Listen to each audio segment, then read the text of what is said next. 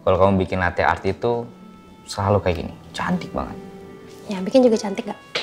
Ya jelas dong, yang bikin lebih cantik malah. Aku merindu, ku yakin kau tahu.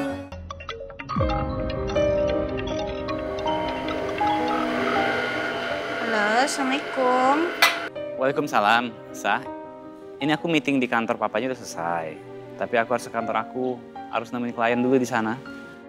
Bukannya Devan tadi udah bilang ya kalau pulangnya sore. Terus kan kita juga ada janjian dinner. Sah? Halo? Oh, iya iya maaf. Ini aku lagi di dapur soalnya. Oh, di dapur. Itu suara apa?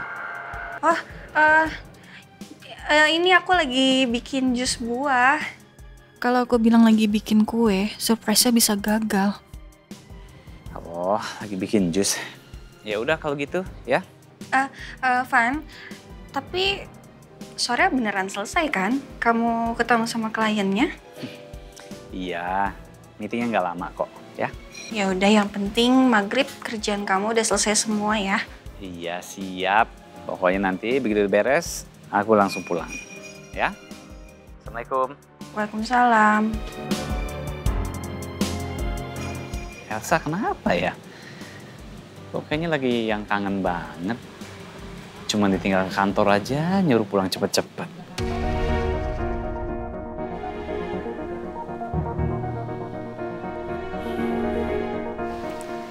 Kayaknya Devan tuh nggak inget deh kalau nanti malam ada janji dinner sama aku. Soalnya dia pasti telepon tuh nggak nyinggung sedikit pun soal itu. Atau jangan-jangan Devan udah tahu ya? Dia inget hari pernikahan kita, tapi dia gengsi buat ngasih tahu ke aku karena dia baru ingetnya tuh sekarang. Aku sih yakin banget dia udah inget sekarang. Pasti dia tahu kalau acara dinner nanti malam itu untuk merayakan hari pernikahan aku sama dia. Dia pasti mau ngerjain aku deh sekarang. Jahil banget sih. Ah, ya sudah, em, ini kayaknya aku mau ngelanjutin untuk bikin adonan hiasan di atas kuenya.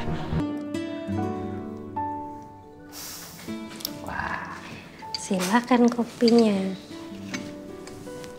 Wow, wow, wow, wow. Kalau kamu bikin latte art itu selalu kayak gini, cantik banget. Ya, bikin juga cantik gak? Ya jelas dong, yang bikin lebih cantik malah. Ini jam segini kamu udah di sini. Ngapain? Emang kerjaan di kantor udah selesai? Udah, udah beres dong. Makanya sekarang ke sini biar cepet-cepet ketemu kamu. Oh ya, eh, sore ini kamu ada acara nggak? Ada sih, aku mau ke apartemen papa. Mau nganterin berkas-berkas. Berkas-berkas. Papa minta berkas-berkasnya Zidan. Berkas-berkas dan Untuk apa? Kemarin papa tuh minta dia tuh pengen ngurus paspor sama visanya Zidan. Eh, jadi, benar ya kamu sama Zidan mau berangkat ke London gitu? Sebenarnya aku nggak mau sih, apalagi Zidan. Cuma ya aku udah ngomong sama Zidan, aku akan cari cara untuk ngebatalin ke London. Ya buat nenangin dia sih. Ya, tapi kalau kalau kamu memang nggak mau berangkat ke sana, kenapa berkasnya harus tetap kamu anterin ke papa kamu? Dan ya kamu tahu sendiri kan, setelah kamu bilang ke Zidan, pasti Zidan akan terus nagih janji kamu. Nah, iya sih. Ya aku juga khawatir itu karena Zidan pasti akan lagi janji aku. Cuma aku tuh, kamu tahu sendiri aku tuh males banget berdebat sama papa kalau aku nolak ajakannya papa. Jadi maksudnya ya udah aku anterin aja dulu berkasnya. Nanti aku akan pikirin lagi deh cara ngebatalin rencana ke London. Kalau misalnya ketika nanti nggak ada cara lain untuk menolak kamu pergi ke sana dan kamu diharuskan untuk pergi ke sana dengan Zidan, itu gimana?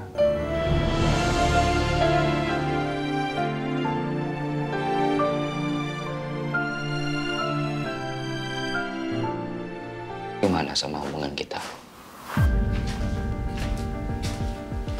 Bukannya masalah ini udah kita bahas. Kamu katanya udah siap kan kalau kita LDR? Ya nanti kalau misalnya kita berjodoh dan kita menikah ya aku pasti akan tinggal sama kamu.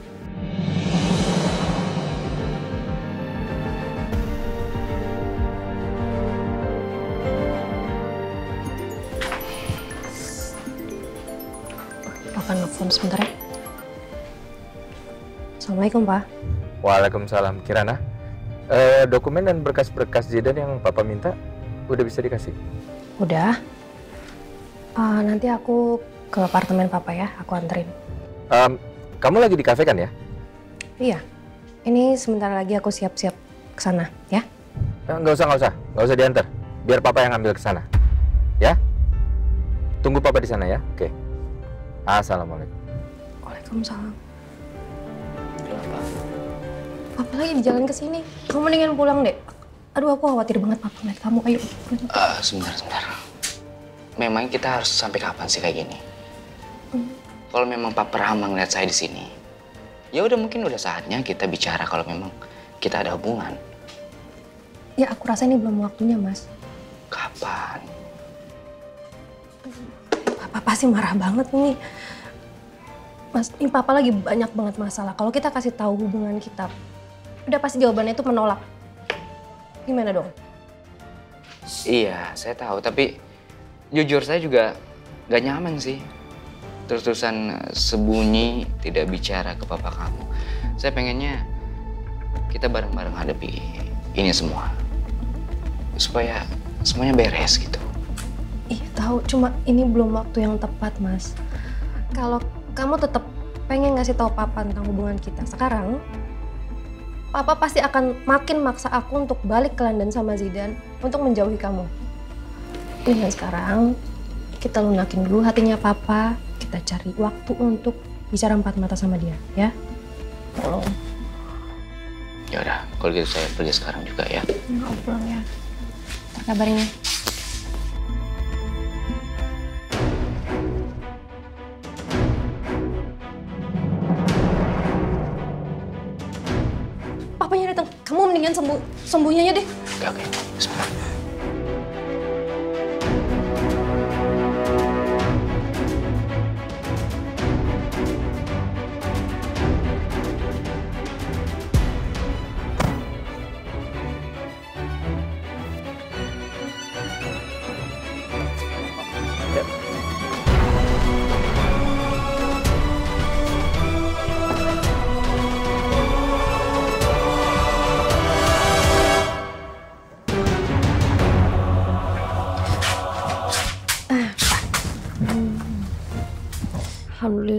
Mas Randy udah sembunyi.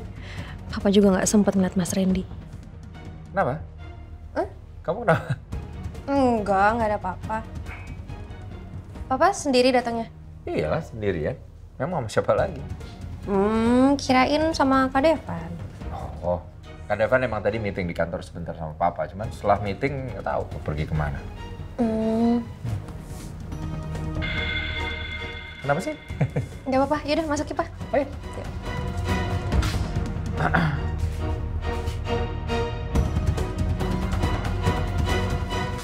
Duduk, Pak.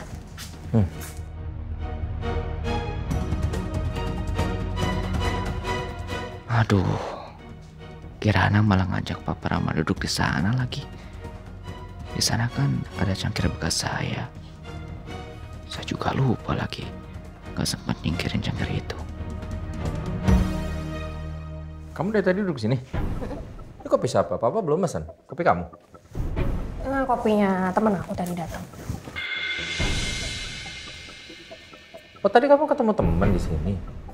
Siapa? Mana temannya?